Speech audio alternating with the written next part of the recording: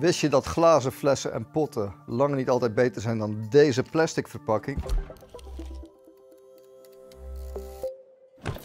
Ja, je zou natuurlijk kunnen denken, uh, hebben we die verpakking wel nodig? Kunnen we niet beter gewoon die hele verpakking weglaten? Of kan ik niet mijn eigen pot of zak meenemen naar de supermarkt? En dat is best een handig en goed idee, maar dat, dat werkt niet altijd. De taak zit er eigenlijk al bijna op van de verpakking als jij hem koopt in de supermarkt. Dat zit zo. Kijk, ik heb hier een komkommer en dat is wel een interessant geval om dit uh, uit te leggen. Komkommers, buiten het seizoen, als je ze dan wil uh, eten, dan komen ze uit Spanje bijvoorbeeld. Nou, hier, bij verschillende boeren in Spanje, waarschijnlijk in het zuiden, worden met een vrachtwagen opgepikt naar een distributiecentrum. Vandaag gaan ze dus op de vrachtwagen naar Nederland. En dan in Nederland komen ze ook weer in een distributiecentrum. Voordat ze verdeeld worden naar de verschillende supermarkten. En als ze daar zijn, dan kom jij pas met je winkelmandje aanzetten om die komkommer te kopen en mee naar huis te nemen. Zonder verpakking is dit niet te doen, omdat er dan best een flink deel van die komkommers het gewoon niet haalt. Naast het beschermen van uh, wat erin zit, zijn er nog heel veel andere functies van verpakkingen. Bijvoorbeeld, als je geen verpakking hebt, dan is het heel lastig om vloeistoffen bij elkaar te houden en ook om grote hoeveelheden bij elkaar te houden. En daarnaast verlengen verpakkingen de houdbaarheid van een product. Dat is een hele belangrijke eigenschap. Goede verpakkingen gaan het bederven van voedsel tegen.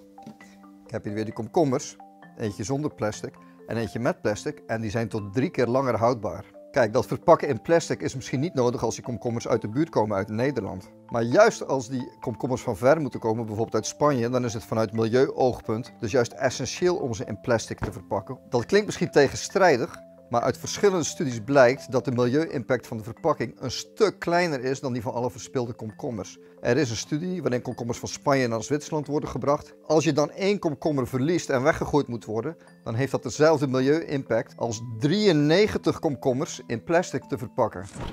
En nog een andere hele belangrijke functie van verpakkingen, marketing. Ik heb een leuk flesje wijn meegenomen, een mooie rode wijn, mooi in een fles. Dan heb ik ook nog Fles wijn in een hele andere verpakking.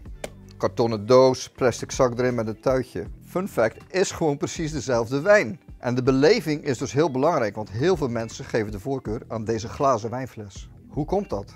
Glas bestaat al duizenden jaren. En in de 19e eeuw werd het ook haalbaar om glas als industrieel goed te gebruiken verpakkingsmateriaal in te zetten. Het straalt die kwaliteit uit en je kan het goed recyclen. En tegenwoordig kom je glas dus ook nog vaak tegen, bijvoorbeeld in bierflesjes. De laatste decennia zie je toch vaak dat glas vervangen is door plastic verpakkingen. Laten we de milieu-impact van deze plastic 2 liter melkfles eens vergelijken met dezelfde hoeveelheid melk verpakt in glas. Die milieu-impact wordt bepaald onder andere door de hoeveelheid energie die je nodig hebt om het materiaal te produceren, het waterverbruik ook weer bij productie, de broeikasgassen die vrijkomen bij het vervoer en het landgebruik, om maar eens een aantal aspecten te noemen. Het belangrijkste verschil in milieu-impact tussen plastic en glas voor melkverpakking zit hem in twee aspecten. Het zit hem in het produceren, in het maken van de fles en in het transport. Laten we eens kijken naar de productiefase. De glazen fles is veel dikker, daar is veel meer materiaal voor nodig dan deze plastic verpakking. Als je dat vertaalt naar de milieu-impact, dan is die voor die glazen verpakking 12,5 keer zo groot als voor het plastic. Nu is het wel zo dat je zo'n glazen fles vaker kan hergebruiken. Zo'n plastic fles gebruik je meestal maar één keer. Zo'n glazen fles, nou er is studie naar gedaan, die wordt gemiddeld 25 keer hergebruikt voordat die verloren gaat of kapot gaat of vernieuwd moet worden. In dat geval kom je beter uit met glas. Maar die nieuwe en hergebruikte flessen, ja, die moeten ook steeds heen en weer getransporteerd worden. Dat is de milieu-impact van het transport. Want hoe lichter de fles, hoe minder energie nodig voor vervoer. Plastic flessen zijn heel licht, dus zelfs als je 25 keer zo'n nieuwe plastic fles zou transporteren, levert dat aan milieu-impact in deze eenheden slechts één blokje op. Terwijl die glazen flessen, omdat ze zo zwaar zijn, een hele grote milieu-impact hebben vanwege transport. Bij dat 25 keer hergebruik komt neer op 30 blokjes. Stel dat je een fles echt nog heel veel vaker zou hergebruiken, dan wordt op een gegeven moment de milieu-impact van het gebruik van de grondstof en het maken van de fles relatief steeds kleiner. Maar de milieu-impact van het transport, die blijft. En dat is nog altijd meer dan de milieu-impact van het transport en de productie van de plastic fles.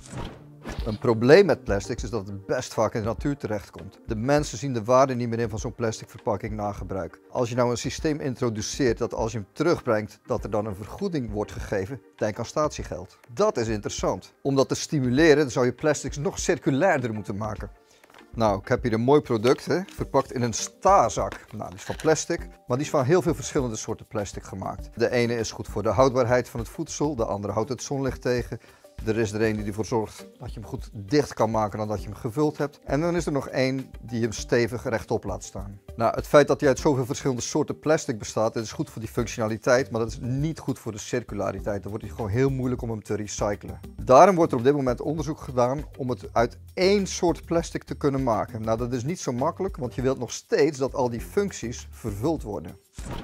Ik wil helemaal niet zeggen dat plastic verpakkingen altijd beter zijn. Dat heeft echt te maken met de eisen van product tot product. En dan hebben we ook nog te maken met de discussie rond microplastics en het zwerfafvalprobleem. Maar het is wel goed om stil te staan bij het nut van die plastic verpakkingen. En overwegen of de alternatieven echt beter zijn voor we de plastic verpakkingen in de band doen.